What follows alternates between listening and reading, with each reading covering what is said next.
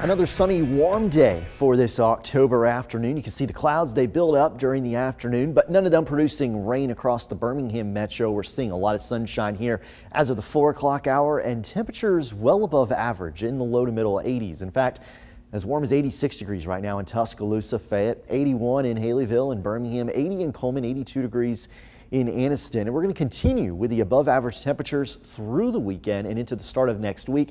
80 degrees Saturday, 82 on Sunday, 83 degrees again on Monday. It's not going to be probably until the end of next week that we see maybe a bit of a cool down.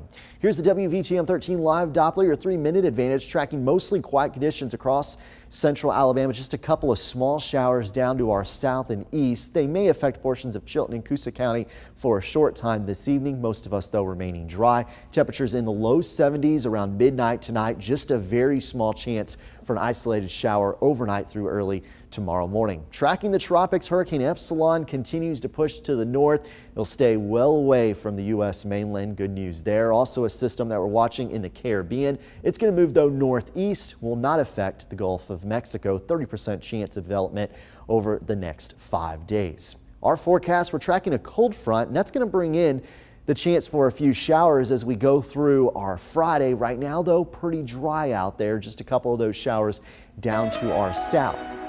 Scattered showers in our forecast for Friday, highs in the low 80s. The chance for a shower again on Saturday, Sunday, Monday, Tuesday all look mostly dry, continued warm, maybe a better chance for some rain as we go through the middle to end of next week. You're watching WVTM 13 News.